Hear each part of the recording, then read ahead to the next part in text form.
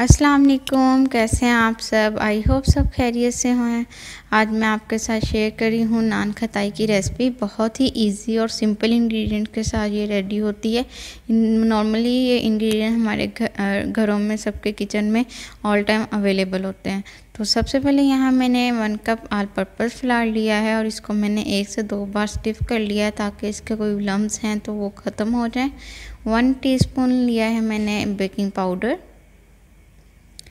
half cup powder sugar लिया है। Normally घर की ही शुगर को मैंने ग्राइंड करके पाउडर फॉर्म में उसको बनाया है। हाफ़ कप लिया है कुकिंग ऑयल। सिंपल से इंग्रेडिएंट सिर्फ़ हमें यही इंग्रेडिएंट चाहिए खताई की डो बनाने के लिए। सबसे पहले हम ड्राई इंग्रेडिएंट्स को मिक्स कर लेंगे अच्छे से।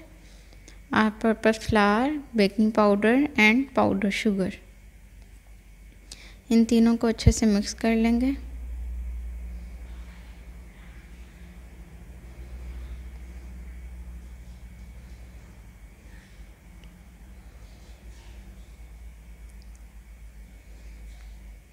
मिक्स करने के बाद इसके अंदर जो हमने हाफ़ कप ऑयल लिया था, वो ऐड कर देंगे और ऑयल डाल के हम इसको अच्छे से मिक्स करेंगे।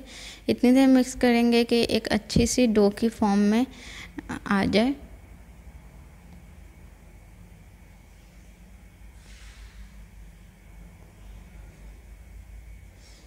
बहुत ही सिंपल है, अगर कोई गेस्ट भी आ रहे हैं टी के साथ कोई कुकी वगैरह कुछ ऐसा चाहिए तो ये बहुत ही जल्दी बन जाता है और बेकिंग टाइम भी इसका बहुत कम है।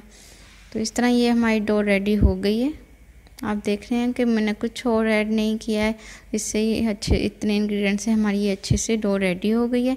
अब इसके हम बॉल्स बना लेंगे।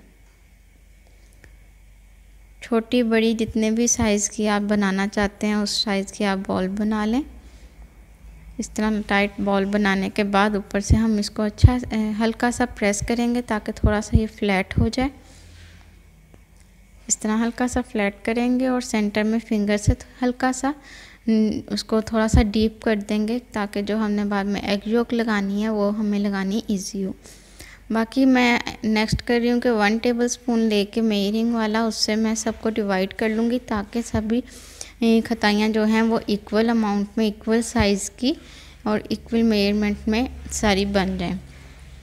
ये है कि एक ट्रिक है कि आप इस तरह कर लें और बाकी ईजी रहता है कि आपको बाद चेक नहीं करना पड़ता है कोई छोटी, कोई बड़ी बनी है, सब एक जैसे साइज़ की हमारे पास बन जाती हैं।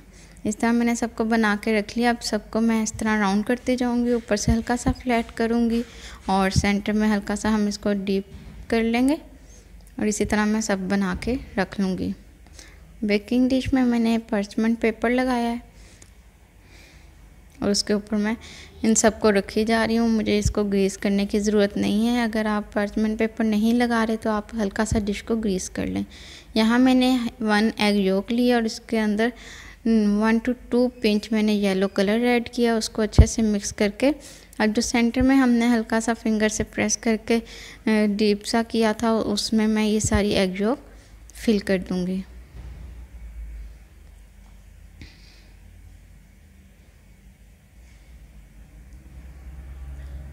इस तरह सब में मैं लगा दूँगी। इतनी डो से आलमोस्ट आप 15 टू 16 खताई इजीली बना सकते हैं। और बहुत ही टेस्टी और क्विक ये रेसिपी है।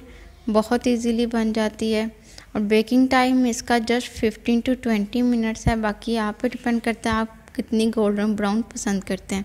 मैं आफ्टर 15 मिनट्स इसको निकाल लूँगी यहाँ पे आप देख रहे हैं, ये रेडी हो चुकी है। मैंने 15 मिनट्स इसको निकाल लिया आफ्टर 15 मिनट और मैंने 180 डिग्री सेंटीग्रेड पे अपर एंड लोअर दोनों मैंने ग्रिल ऑन की थी। अब इसको मैं रूम टेम्परेचर पे अच्छे से ठंडा कर लूँगी और ठंडा करके फिर डिश आउट करूँगी। यहाँ आप देख रहे हैं इसकी फ़ाइनल लुक ये फाइनल लुक है इसकी। आई होप आप लोगों को ये क्विक सी एक डिज़र्ट की रेसिपी अच्छी लगी होगी। बहुत ही सिंपल और बहुत ही टेस्टी ये नान खताई रेडी होती है और बहुत अच्छी क्रिस्पी सी ये बनती है।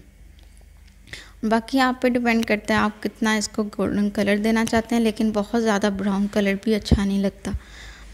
नीचे से इसका बहुत खूबसूरत ब्राउन कलर है गोल्डन ब्राउन और ऊपर से बहुत लाइट कलर की, बहुत ही परफेक्टली ये बेक हुई हैं।